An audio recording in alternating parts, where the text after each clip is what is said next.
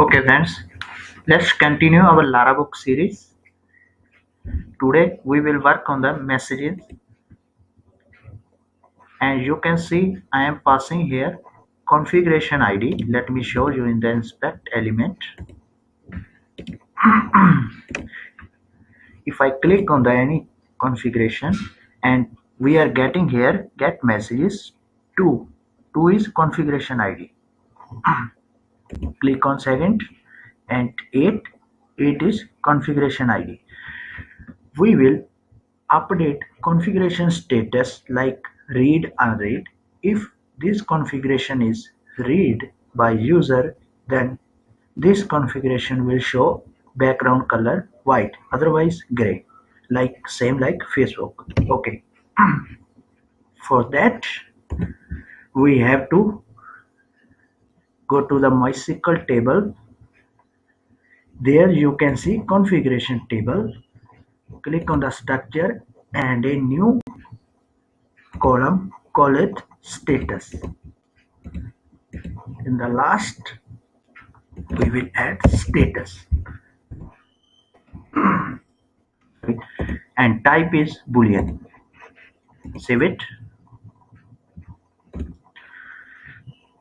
Now Uh, by default we will make it status equal to 1 if configuration clicked i mean message is read by user then status will turn to 0 for now let me update the status. Status for all but okay we have uh,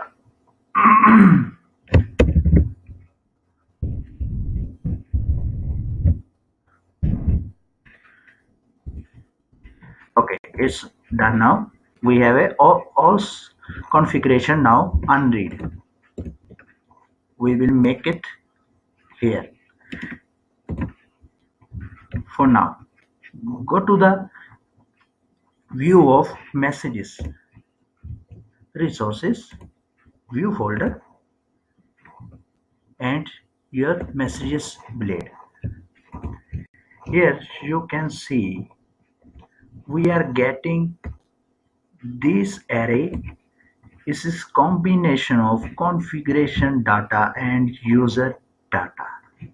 Here's username user gender you can see inside the view. And we are passing configuration id okay. Let me show you get data. If i click on any id id means configuration id uh, let if i say 8 this is configuration user data along with configuration data. User 1 user 2 status. Now you can see here your new column status 1 okay? Now go to the messages. We will say if this configuration status equal to 0 then we will say background color white. Okay. For that just copy this paste one more time. At v if your array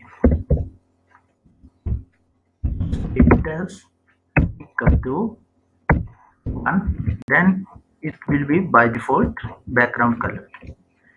Else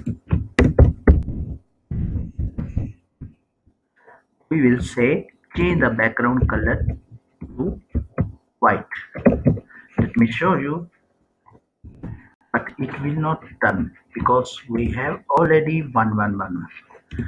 and let me turn any is 8 let me 8 id here. Turn it 0 manually we will update by query later. And you can see it's now read by user read by user yeah? now make it one. We will do it by functionality.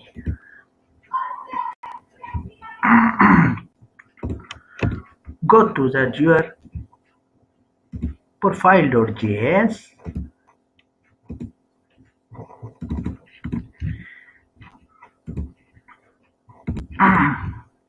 you are getting the data here okay? It will go to your route.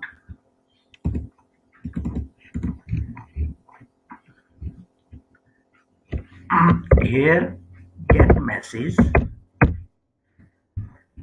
This is all message but we need here is your message with id okay. Now we will here update when user click on any configuration id we will update here. On status. I mean configuration status. Here. Update. You can name it anything. Update. Table name is configuration uh, let me confirm this. Is configuration. Here. Id this id we are passing here. Configuration id 28 which one i show. You in the inspect. Okay. And update.